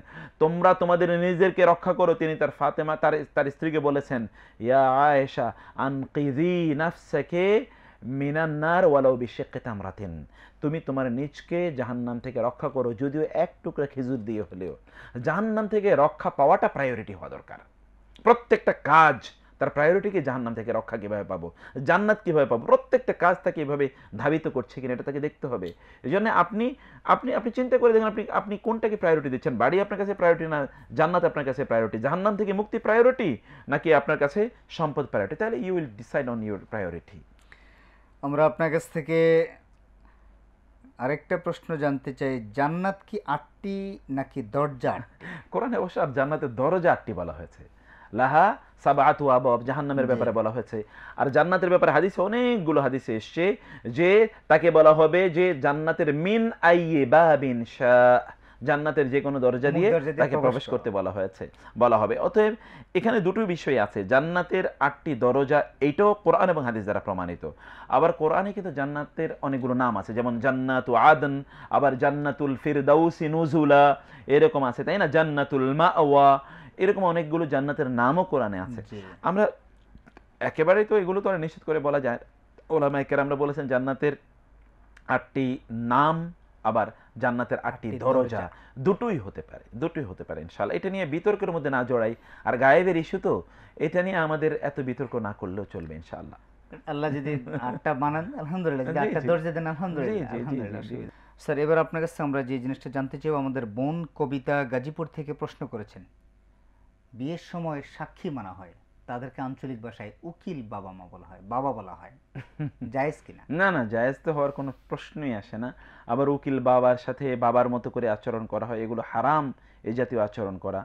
অতএব এগুলো উকিল তো তিনি ওয়াকিলই এর মধ্যে আবার উকিল বাবা হবে কেন? উকিল তো উকিলই। উকিলের বাবা বলতে কোনো কিছু নাই। এটা একটা কুসংস্কার। এই কুসংস্কার থেকে আমাদের অবশ্যই মুক্তি নিতে হবে। আচ্ছা। আমরা এবারে জানতে চাচ্ছি যে একজন মহিলা যখন বিয়ের পরে শ্বশুর শাশুড়িকে বাবা মা বলতে হয়। জি। উকিল বাবা মার ব্যাপারে একটা লাস্ট কথা একটু বলে রাখি। তাহলে যে উকিল বাবা মার সাথে দেখা সাক্ষাৎ করা এটা হারাম। উকিল বাবা মা বেগানা পুরুষ এবং বেগানা নারীর মতোই। অতএব কোনো একজন ব্যক্তি কাউকে উকিল বাবা বানালেন ওই উকিল বাবার সাথে উনি দেখা করলেন ওই আপন বাপের মতো করে। নেভার নেভার এটা হারাম হয়ে যাবে তার জন্য। কবিরা গুণা হবে। আর শ্বশুর শাশুড়িকে বাবা মা বলা যাবে কিনা এটা আসলে কালচার বাবা মা বলাটা এটা কোনো একটা অঞ্চলের যদি কালচার হয় তাহলে সেখানে বলা যাবে এখানে বাবা বলতে আপন বাবা কেউ যদি তাকে মনে করে, তাহলে সেটা সেটা হারাম হবে। কিন্তু আপন বাবা যদি মনে না করে, তাহলে সেটা হারাম হবে না, ইনশাআল্লাহ। আর ব্যাপারটা হলো এরকম যে, আপনি যেই বিষয় রাসুলাম বলেছেন, কেউ যদি অন্য কাউকে তার বাবা হিসাবে গ্রহণ করে, পরিচয় দেয়, অথচ তিনি তার বাবা নন, তাহলে তার জন্য জান্নাত হারাম। বা এরকম যে বক্তব্যগুলো আছে সেগুলোর বিষয় হলো যে, কোনো একজন ব্যক্তি তিনি তার নিজের বাবার নাম মুছে দিয়ে, এখন তিনি বিভিন্ন জায়গায় পরিচয় দিচ্ছেন, আমি অমুকের সন্তান, উনি আমার বাবা। এবং তিনি বিভিন্ন ডকুমেন্টে তাই লিখছেন উনি আমার বাবা। এইটা হলো বিষয় এটাই হারাম। কিন্তু এমনি কেউ কাউকে শ্বশুর বাবা বলা বা শাশুড়ি আম্মা বলা এটা তো তাকে তিনি বলেন না যে উনি আমার জন্মদাতা বা জন্মধাত্রী এরকম তিনি তো বলেননি এবং এটা দাবিও করেন এটার পরিচয় তিনি দেননি যে উনি আমার বাবা উনি আমার মা এরকম পরিচয় দেননি। বলার সম্ভব উনি আমার শাশুড়ি আম্মা উনি আমার শ্বশুর বাবা। এবং শ্বশুরই বলেন যে উনি আমার শ্বশুর। কোথায় বলতে গেলে তো উনি আমার বাবাও বলেন না উনি আমার শ্বশুর উনি আমার শাশুড়ি বলেন। কিন্তু তাদেরকে ডাকার সময় বলেন বাবা মা এতে বলার কোনো দোষণীয় নেই ইনশাল্লাহ এটা দোষণীয় নয়। যেমন কর্ম তেমন ফল। অনেকে বলে যে যে যে আমি যেমন কর্ম করি ফলটা তেমন হবে। কিন্তু অনেক সময় দেখা যায় তার উল্টো দেখা যায়। না তিনি যিনি বলছেন উল্টা তিনি নিজেই বিচার করছেন। বিচারের মালিক তো তিনি না। আল্লাহ তাআলাই জানেন যে বিচারটা তিনি কি করছেন। আমরা তো ভবিষ্যৎ জানি না এবং আমাদের জন্য কি কারণে কি ঘটছে জি। সেটাও কিন্তু আমরা জানি না। বিচারের দায়িত্ব আমাদের নয়। আরেকটা বিষয় আমাদেরকে মাথায় রাখতে হবে যে আল্লাহ সুবহানাহু ওয়া তাআলা আমাদের উপর কেউ অন্যায় করার পরেও আল্লাহ সুবহানাহু ওয়া তাআলা বিপরীত ওই ব্যক্তিকে শাস্তি দেন না। এটা দুটো অর্থ হতে পারে। একটা অর্থ হতে পারে যে আল্লাহ সুবহানাহু ওয়া তাআলা ওই ব্যক্তিকে শাস্তি অন্যভাবে দিচ্ছেন। আপনি যেভাবে প্রত্যাশা করছেন, এভাবে শাস্তি হয় না। শাস্তি কি সবসময় আপনি ভাবলেন যে লোকটা তাড়াতাড়ি মারা যাক, সেইভাবে শাস্তি হয়। শাস্তি আল্লাহ অন্যভাবেই দিতে পারেন। তো এটা তো আর আপনি জানেন না। আপনার কাছে সেই ধারণা বা সেই জ্ঞানও নাই। দু নম্বর বিষয় হচ্ছে, আল্লাহ তাআলা এখন শাস্তি দেননি। কিন্তু আল্লাহ সুবহানাহু ওয়া অন্য কখনো শাস্তি দেবেন না, তা তো ঠিক নয়। আল্লাহ তো ফেরাউনের মতো ব্যক্তিকেও কত বছর পর্যন্ত তিনি তাকে বাঁচিয়ে রেখেছেন। এই দুনিয়াতে এখনও নব্য কত ফেরাউনকে তিনি কি বাঁচিয়ে রাখেননি? তাদের ক্ষমতা, প্রভাব, প্রতিপত্তি ইত্যাদি কি এখন ধ্বংস হয়ে গিয়েছে মুহূর্তের মধ্যে? কত মানুষও তাদের বিরুদ্ধে দোয়া করে, কিন্তু কিছুই তো হয় না। কিছুই তো হয় না মানে কি? হয় না মানে হচ্ছে তাদের জন্য তো আল্লাহ সুবহানাহু ওয়া নির্ধারিত সময় রেখেছেন। ওই সময় তাদের শাস্তি হবে। অথবা ওই সময়ই আল্লাহ তাআলা তাদের প্রতিবিধান করবেন। অতএব এই সময় তো আল্লাহ ভালো জানেন আমি এবং আপনি তো জানি না। আমার এবং আপনাকে যদি বিচার করতে দেওয়া হতো তাহলে পৃথিবী এক মুহূর্তের জন্য থমকে দাঁড়াতো। একটা সেকেন্ড ওই পৃথিবী চলতো সেজন্য আল্লাহর তো নিজাম আছে সে নিজাম অনুসারে তিনি এটার ফয়সালা করবেন। সামান্যতম কারও উপর জুলুম করা হয় কিন্তু এই জুলুমের প্রতিবিধান হবে না এটা কখনো হতে পারে না। আমরা জানি রাসূল সাল্লাল্লাহু বলেছেন কেয়ামতের দিন আল্লাহ তাআলা শিংওয়ালা বকরি এবং শিং ছাড়া বকরিকে উত্থিত করে বলবেন। এই শিংওয়ালাটা তুমি শিং ছাড়াটাকে আঘাত করেছ। অতএব তুমি এখন সিং সারাটাকে বলবে, তুমি ওর একটা আঘাত করে দাও। এরপরে ওদেরকে মাটিতে তিনি পর্যবেসিত করবেন। তখন মানুষ বলবে, ইয়া আলাই লাইতানি কুন্তু তোরাবা। আরে আমিও যদি এর মতো মাটি হয়ে যেতে পারতাম, কিন্তু আল্লাহ তো তাকে মাটি বানাবেন না, বরং তাকে আল্লাহ সব সুবহানুর বিচার আওতায় নিয়ে আসবেন। আমাদেরকে ইউটিউবে আরেকজন ভাই প্রশ্ন করেছেন কবর কেন্দ্রিক মসজিদ তৈরি করা যায় কিনা হারাম, আর সেই মসজিদে সলাত আদায় করা যাবে? কবর কেন্দ্রিক মসজিদ তৈরি করা হারাম রসুলাম বলেছেন লা তাত্তাখিযু কবরি মাসাজিদা লা তাত্তাখিযু কবরি ওয়াসানান ইউবাদ অথবা লা তাত্তাখিযু কবরি ঈদান তোমরা আমার কবরকে মসজিদ হিসেবে গ্রহণ করো না আমার কবরকে তোমরা মূর্তির জায়গা হিসেবে গ্রহণ করো না, যে এটার অ্যাবাউট করো আমার কবরকে কেন্দ্র করে তোমরা বিভিন্ন বার্ষিক অনুষ্ঠান করো না।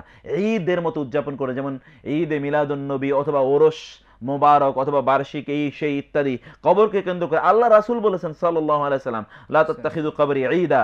আমার কবরকে তোমরা ঈদের কোনো উদযাপনের কোনো আনুষ্ঠানিকতার কেন্দ্রবিন্দু তোমরা বানিও না। সেই জায়গায় যদি আল্লাহ রাসূলের কবরের ব্যাপারে যদি রাসূল সাল্লাল্লাহু কথা বলেন এবং তিনি বলেছেন তার মৃত্যুর আগে তিনি অর্থাৎ তার মৃত্যুসজ্জায় তিনি যে কয়েকটি কথা বলেছেন তোর মধ্যে এইটা অনেক বেশি বলেছেন। যে তোমরা আমার কবরকে উপাসনালয় বানিও না। তোমাদের পূর্বের জাতিগোষ্ঠী ইহুদি এবং খ্রিস্টানরা তারা ধ্বংস হয়ে গিয়েছে কারণ তারা ইত্তাখাদু কুবুর আম্বিয়া ইহিম মাসাজিদা তারা তাদের নবীদের কবরগুলোকে মসজিদ হিসেবে গ্রহণ করেছিল। অতএব কোনো কবর কেন্দ্রিক মসজিদ তৈরি করা কবরের উপর মসজিদ তৈরি করা মসজিদের মধ্যে কবর তৈরি করা এগুলো সব হারাম এই জাতীয় মসজিদে নামাজ পড়া সেরেক হয়ে যাবে। হুমায়ুন বিন আব্দুল করিম আমাদেরকে ইউটিউবে প্রশ্ন করেছেন ভাই এই যে উনি জানতে চেয়েছেন মৃত ব্যক্তির জন্য ওমরা করা যাবে কিনা? মৃত ব্যক্তির জন্য ওমরা তো ফরজ ছিল না। আপনি কেন তার জন্য ওমরা করবেন? মৃত ব্যক্তির জন্য আমাদের দোয়া করাটা হচ্ছে মৌলিক কাজ। মনে রাখা দরকার রাসুসলাম বলেছেন কোন একজন ব্যক্তি মারা গেলে তার আমলের দরজা বন্ধ হয়ে যায় তিনটি চ্যানেল বা খোলা থাকে। মধ্যে আউআলাদিন সলিহিন ইয়াদুল্লাহ তার সন্তানরা অথবা তার আত্মীয় স্বজন যারা দিনদার তাদের জন্য দোয়া করে। দোয়াটাই ওয়াল্লাযিনা জাউ মিন বাদি ইয়াকুলুনা রব্বানা ইগফির লানা ওয়া লি ইখওয়ানিনা সাবাকুনা। বিল ঈমান। পরবর্তীরা পূর্ববর্তীদের জন্য দোয়া করে আল্লাহ তাদেরকে ক্ষমা করে দিন। রব্বিক ফিরলি ওয়ালি ওয়ালি ইয়া ওয়ালিল মুমিনিনা ইয়াউমা ইয়াকুমুল হিসাব। আল্লাহ আমাদেরকে ক্ষমা করে দিন। আমাদের পিতামাতাকে ক্ষমা করে দিন এবং সকল মোমেন পুরুষ নারীদেরকে ক্ষমা করে দিন। সেই জন্য তাদের জন্য দোয়া করাটা হচ্ছে মৌলিক। তার উপর তো হজ ফরজ মানে উমরা ফরজ ছিল না। আপনি কেন উমরা করবেন? যদি হজ তার উপর ফরজ হয়ে থাকতো, কিন্তু তিনি হজ করেননি, তাহলে সেটা বদলি হজ আপনার জন্য করে দেওয়া ফরজ ছিল। সেটা তো তার উপর ছিল না। অতএব ওমরা করে অযথা আবাদতগুলোকে আপনারা প্রশ্নবিদ্ধ করবেন না। আপনারা বরং আল্লাহ এবং তার রাসূল যতটুকু করতে বলেছেন ততটুকুতে সীমাবদ্ধ থাকুন প্লিজ মনসুর হাল্লাস সম্পর্কে জানতে চেয়েছেন মনসুর আল্লাহ সম্পর্কে অনেক লম্বা আলোচনা। মনসুর আল্লাহ আসলে পরবর্তীতে তিনি মোলহেদ মোশরেক হয়ে গিয়েছেন। ওয়াহদাতুল উজুদ নামক এক ধরনের এক ধরনের আকিদা তিনি লালন করেছেন। ওয়াহদাতুল উজুদ মানে হচ্ছে তারা মনে করত যে আল্লাহ এর সাথে তারা একীভূত হয়ে গিয়েছেন। আল্লাহর সাথে তারা কি? একীভূত হয়ে গেছেন। এটাকে এখনকার পিসাবরা বলে ফানাফিল্লা। ইয়াদুল্লাহ আল্লাহর হাত হয়ে যায়। হ্যাঁ, আল্লাহর- কথাগুলো সব আল্লাহর কথা হয়ে যায়। এগুলো এগুলো আল্লাহ ফানাফিল্লা মানে আল্লাহর মধ্যে তিনি কি এবার মিশে গিয়েছেন? এখানে দুটো দুটো আইডিয়া আছে। একটা হচ্ছে হুলুল। হুলুল মানে হচ্ছে আল্লাহর এগুলো আল্লাহ এগুলোর অংশ। এই যে ধরেন পৃথিবীতে সব কিছু আছে। যে আল্লাহ সুবহানাহু ওয়া তালা এগুলোর অংশ হয়ে গিয়েছেন। এবং দুই নম্বর হচ্ছে হলুলের পরে তারপর হচ্ছে ওয়াহদাতুল উজুদ, অর্থাৎ এগুলোকে আল্লাহ সুবহানাহু ওয়া তালা তার অংশ হিসেবে গ্রহণ করার পর অথবা আল্লাহ সুবহানাহু ওয়া তালার অংশ হিসেবে তিনি এগুলোকে বিভিন্ন জায়গায় ছড়িয়ে ছিটিয়ে দিয়েছেন এবং সবকিছু এটা আল্লাহর অংশ হয়ে গিয়েছে প্রথম। পরবর্তীতে এইটা আল্লাহর সাথে একেবারে মিশে গিয়েছে। এখন একাকার হয়ে গিয়েছে। এখন আল্লাহ কি এবং মাখলুককে কেউ কিছু বোঝে না। এবং এই জন্য বেরলবিদের মধ্যে একজনের আকিদা ছিল যে মোহাম্মদ খোদা নেহি খোদা সে মানে আমি রাসুল ইসলামকে লক্ষ্য করে সে বলেছিল ইয়া রাসুল আল্লাহ আমি আপনাকে খোদা বলতে পারি না কিন্তু আপনাকে খোদা থেকে আমি আলাদাও তো করতে পারছি না। আপনাকে আমি খোদা থেকে তো আলাদাও করতে পারছি না। আমি তো দুজনকে একই দেখতে পাচ্ছি। এটা হলো ওয়াহদাতুল উজুদের এই আইডিয়া এটা তো ভয়ঙ্কর শিরিকি আকিদা এবং কুফরি আবি আকিদা। এরা এরা এরা এরা মোলহেদ এরা ইমানদার নয় কোন অবস্থায়। ইমান যদি ইমানদার থাকেও তাহলে এই কাজের কারণে তাদের ইমান হয়ে শেষ গেছে, হয়ে গেছে। আল্লাহ হেফাজত করুন আমাদেরকে যারা। ইলমে তাসাউফ যারা যারা তাসাউফ পন্থী যারা তাসাউফ প্র্যাকটিস করেন। বিশেষ করে বেল্লবীদের ভয়ঙ্কর আকিদা। এটা আমাদের ভালো করে জানা দরকার এগুলো। কিন্তু এত লম্বা সময় নাই তা এতটুকুই আমরা আমরা আমাদের সময় হাতে আছে আর আড়াই মিনিট আমাদের সময় বলছে। আপনি যদি আমাদেরকে বলেন একটু যে বাইতুল্লাহ দেখার প্রথম অনুভূতি থেকে। প্রিয় ভাই প্রিয় বোন যেই বাইতুল্লাহর দিকে ফিরে আপনি বছরের পর বছর আবাদত করেছেন সেই বাইতুল্লাহ আপনার সামনে। মানে এটা কি ভাবা যায় অনুভূতিটা চিন্তা করে দেখেন তো? সারাটা জীবন সারাটা জীবন এটাকে আপনি স্বপ্নে দেখেছেন এই দিকে ফিরে সালাদ আদায় করেছেন এটা আপনার কেবলা। এইটাই আপনার কেন্দ্রবিন্দু, এইটাই আপনার আকর্ষণ। এই দিকেই আপনার সকল, আপনি জীবিত অবস্থা ওইদিকে মৃত অবস্থায়ও কি? একজন মানুষ যখন মারা যায় তখন তাকে কবর দেওয়া হয়, ওই ক্যাবলার দিকে, ওই বাইতুল্লার দিকে ফিরেই কিন্তু তার মাথাটা রাখা হয়। ওইটাই তার একমাত্র ঠিকানা। সেই ঠিকানার সামনে আপনি গিয়েছেন, ওইটা আপনার অ্যাড্রেস। এটা ওই ব্যক্তির মতো, যিনি বহুদিন পর্যন্ত তিনি বিদেশে ছিলেন। দেশের মাটিতে যখন তিনি পা রাখেন, তখন তার অনুভূতিটা কেমন হয়? এটা অন্যরকম একটা অনুভূতি না? এটা মুসলমানের তো এটা তার মাতৃভূমি। এটা তার আবাস, এটা তার অ্যাড্রেস এটা তার ঠিকানা। সেই ঠিকানা তিনি গিয়েছেন। দুই নম্বর এখানে যে বিষয়টি, সেটা খুবই গুরুত্বপূর্ণ। এই কাবার চারপাশে যখন আপনি তাওয়াফ করেন, তখন আপনি কিন্তু এই চিন্তা রাখতে হবে, এই কাবা কেন্দ্রিকে আপনার জীবনটা আজীবন যাতে আবর্তিত হয়। ওইখানে যখন আপনি তাওয়াফ করছেন, তখন মানে কি? এই কাবার কেন্দ্রিকে আপনি আবর্তিত হবেন। এই কাবাই আপনার কেবলা। এই কাবাই আপনার চিন্তা চেতনার প্রতীক। এই কাবাই আপনাকে দর্শন দেবে। কাবাই আপনাকে চিন্তা দেবে। এই কাবাই আপনাকে জীবন দেবে। অর্থাৎ আপনাকে জীবনের রূপরেখা দেবে। এই কাবাই আপনাকে দিক দর্শন প্রদান করবে। কাবার মালিক। কাবার কাবার মালিক মানে মানে কাবা মানে তো কাবার মালিক। অর্থাৎ এই কাবা কেন্দ্রিকই কিন্তু আপনার কি? গোটা জীবন। যেমন প্রত্যেকটা জিনিস কিন্তু কোনো না কোনো জিনিসকে কেন্দ্র করে আবর্তিত হতেই থাকে। সূর্য আবর্তিত হয় চাঁদ আবর্তিত হয় পৃথিবী আবর্তিত হয় এগুলো কিন্তু তার কক্ষপথে এসে চলে। আপনার কক্ষপথ কিন্তু এই কাবা। অতএব এই কাবাই আপনার যাতে দিগদর্শন হয়। ফাল ইয়াবুদু রব্বা হাদাল বাইত। তারা যাতে এই ঘরের প্রভুর এবাদত করে। অতএব ঘরটা কিন্তু এখানে খুবই গুরুত্বপূর্ণ। ইন আউয়াল বাইতি উদি আলিন নাস লাল্লাযী বিবাক্কাতা মুবারাকান ওয়া হুদান লিল আলামিন। ফিহি আয়াতুম বাইয়িনাত মাকামু ইব্রাহিম। ওয়া মান দাখালাহু কানা আমিনা। কতগুলো কথা আল্লাহ সুবহানাহু ওয়া তাআলা এই বাইতুল্লাহ সম্পর্কে বললেন। কতগুলো কথা। এই পৃথিবীতে প্রথম নির্মিত ঘর, এটা আল্লাহ আবাদতের জন্য নির্মিত করা হয়েছে। এটা হচ্ছে মানুষের হেদায়েতের জায়গা এবং এর মধ্যে বহু নিদর্শন রয়েছে, এর মধ্যে মাকাম ইব্রাহিম রয়েছে। আর এখানে যে প্রবেশ করে, সে নিরাপদ হয়ে যায়। কত কথা আল্লাহ সুবহানাহু ওয়া তাআলা এই বাইতুল্লাহকে কেন্দ্র করে বলেছেন। অতএব বাইতুল্লাহতে যখন আপনি যাবেন, এই বাইতুল্লাহ এবং এই বাইতুল্লাহর মালিক, তিনি যাতে আপনার গোটা জীবনের তিনি যাতে কেন্দ্রবিন্দু হন এবং এই বাইতুল্লাহ যাতে কেন্দ্রবিন্দু হয় এই দর্শনটা আপনাকে মাথায় নিয়ে আসতে হবে সেখান থেকে। আমাদের সময় বলছে আজ শেষ। আমাদের অনেকগুলো প্রশ্ন ছিল ইউটিউব এবং আমাদের নির্ধারিত প্রশ্ন। আমরা আজকে এই পর্যন্তই আমাদেরকে শেষ করতে হচ্ছে। জাজাকুমুল্লাহ আপনাকে অনেক ধন্যবাদ। প্রিয় দর্শক আমরা চেষ্টা করেছি এই দীর্ঘ একটি ঘণ্টা আপনাদেরকে কিছু প্রশ্নের জবাব দেওয়ার জন্য। আমরা চেষ্টা করেছি কোরআন এবং সুন্নার আলোকে আজকে প্রশ্নের জবাবগুলো দিতে। জানি না কতটুকু পেরেছি যা শুনলাম তার জন্য আমরা নিজের আমল করতে পারি পাশাপাশি আপনারা যারা শুনলেন নিজেদের জীবনে সেটি বাস্তবায়ন করবেন। আমরা সকলে করব। আল্লাহর কাছে এই তৌফিক কামনা করে আজকে শেষ করছি। আজকের জীবন জিজ্ঞাসা। আগামীকালকে আবারও ইনশাল্লাহ দেখা হবে একই সময় একই চ্যানেলে সেই পর্যন্ত আল্লাহ আমাদের সকলকে ভালো রাখুন সুস্থ রাখুন রাখুন নিরাপদে। আসসালামু আলাইকুম ওরহমতুল্লাহি ওবরকাত আল্লাহ আল্লাহ আল্লাহ।